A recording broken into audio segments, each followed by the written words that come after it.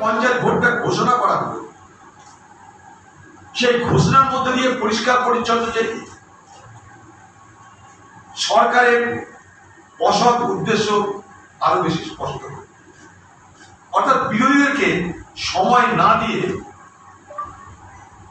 তাদেরকে প্রথম রাউন্ডেই পরাজিত করার চেষ্টা করে। আমরা বিরোধী দল। ভোট ঘোষণা হয় ক্যান্ডিডেট হওয়া নিয়ে আলোচনা হয়। ক্যান্ডিডেট হওয়ার ইচ্ছা প্রকাশ করে। তালিকা তৈরি হয়। তারপরে ঘোষণা হয় তার নামে।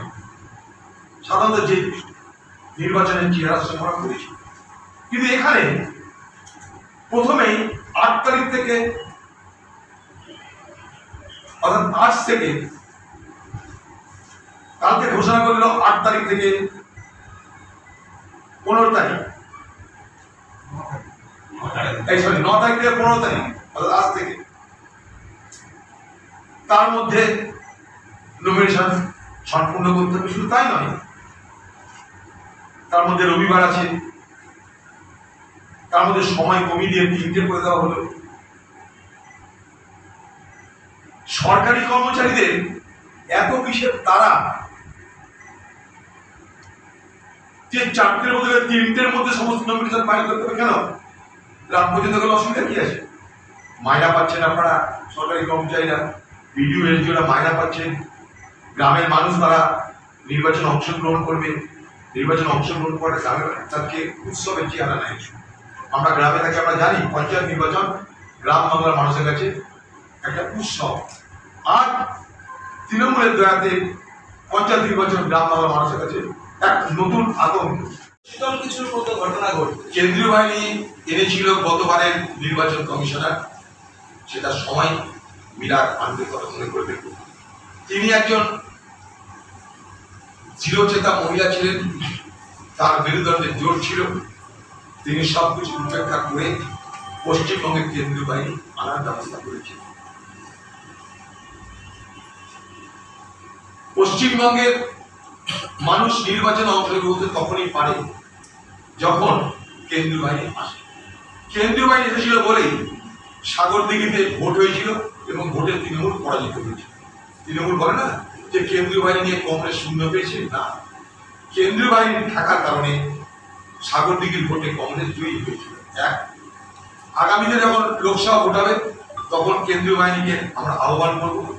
তখনও যদি আপনার জমি ফাঁকা হতে আরম্ভ হবে, আপনি নিশ্চিত যদি আপনার কোনো ভয় না থাকে, কোনো অসুবিধা না থাকে, কেন্দ্রীয় বাহিনী হোক বা রাজ্য বাহিনী হোক, ভোট যদি করাই আপনার উদ্দেশ্য হয়ে থাকে, তাহলে কেন্দ্রীয় বাহিনীকে অনুমোদন দিতেই বা বাধা করবে বাধা কোথায়? রাজ্য পুলিশের ভরসা রাখতে নির্বাচন কমিশন জ্ঞান দিচ্ছে। কোন নির্বাচন কমিশনার? দিদির ভাইয়ের সঙ্গে যাকে চুল উঠে দেখা যায়, এক তার কথাই ভরসা করে এরকম আমরা বলব মুখ্যমন্ত্রী অনুষ্ঠান আহ, অভিষেক বন্দ্যোপাধ্যায়ের নবজবার্তা শেষ হয়ে আসছে। মোটামুটি উনি র্যাপ আপ করে নিয়েছেন। না ব্যাপারটা হচ্ছে তাই যে একটা পঞ্চায়েত নির্বাচন প্রথমে আমার কথা বলেছি। সেটা সিদ্ধান্ত নিচ্ছে নির্বাচনের কমিশনার। খোকাবাবু ঘুরতে ঘুরতে বললেন আমার ঘোরা শেষ হলে ভোট কি করে সম্ভব সেদিন থেকে স্পষ্ট প্রমাণ হয়েছে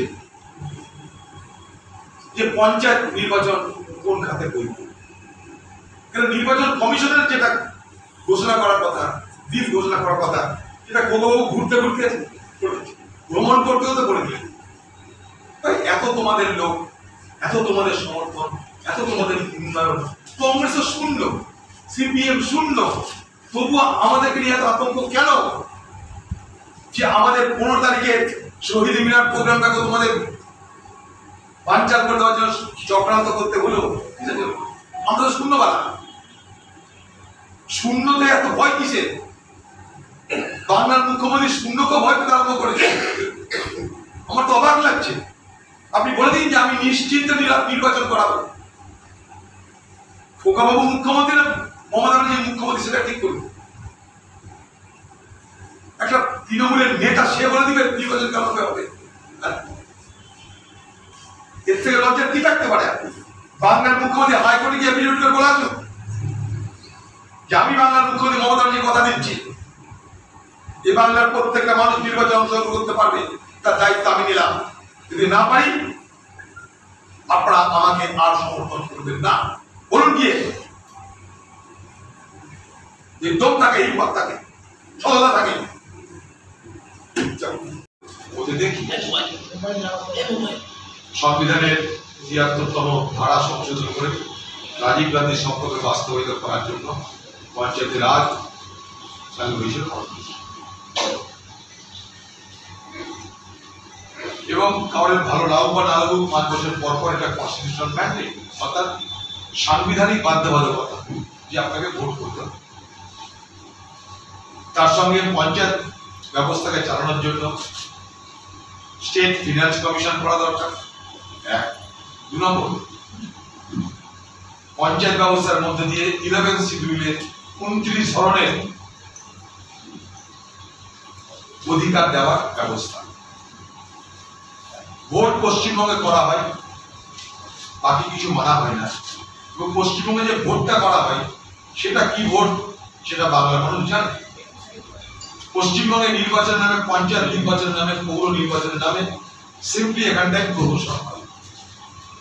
প্রথম থেকে আমাদের তাই একটাই বক্তব্য যে রাজ্য নির্বাচনের কমিশনের অধীনে পশ্চিমবঙ্গের নির্বাচন কখনো শান্তিপূর্ণ, নিরপেক্ষ, অবাধ হতে পারে না।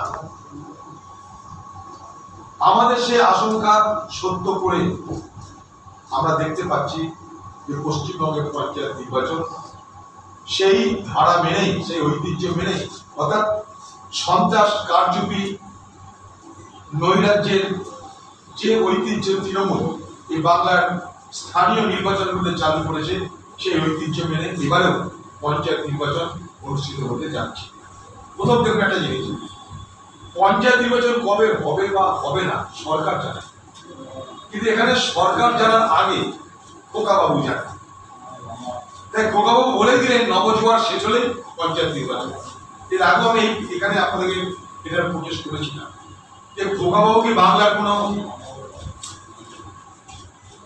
সাংবিধানিক পদে আছে না প্রশাসনিক পদে আছে, তারা জেনে যাবে যে পঞ্চায়েত ভোট তার নবজোয়ারের শেষে হবে। কেউ আপনাদের সাংবাদিকরা প্রশ্ন করেছিলেন নির্বাচন কমিশনার, যে অনলাইনে কি ভোট হওয়া সম্ভব? নির্বাচন কমিশনার তার জবাবে বলল যে আমি একটু সরকারের সঙ্গে কথা বলে নিই তারপরে বলব। অর্থাৎ এখানকার নির্বাচন কমিশনার তিনি নিজে পঞ্চায়েত পরিচালনার ব্যাপারে যে অদক্ষ, অযোগ্য, তার প্রমাণ তিনি নিজেই দিচ্ছেন কারণ নির্বাচন ঘোষণা হয়ে যাওয়ার পর, নির্বাচন পরিচালনা করবার দায়, দায়িত্ব, অধিকার সবকিছু তাকে নির্বাচন কমিশনার কিন্তু এখানকার নির্বাচন কমিশনার সে প্রথমেই বুঝিয়ে দিল যে আমি যা কিছু করব, সরকারের সঙ্গে আলোচনা করে। আজ আবার দেখতে পাচ্ছি সেই নির্বাচন কমিশনার যিনি হয়েছেন আমাদের স্বনামধন্য সেই ব্যক্তিটি, তার আবার দিদির কাছের মানুষ, দিদির ভাই নাকি, তার সঙ্গে আবার চুল্লুর টেবিলেও তাকে দেখা যাচ্ছে। তা বাংলায় নির্বাচনটা কি হবে ভেবে আমরা বড় চিন্তিত হয়ে পড়ছি। সুন্দরবন ভ্রমণের সেরা ঠিকানা এসডি হলিডে। ফটোগ্রাফি হোক বা শিক্ষামূলক ভ্রমণ, সেরা আতিথেয়তা অভিজ্ঞতা সম্পন্ন guide call nine five six four double two six seven six zero.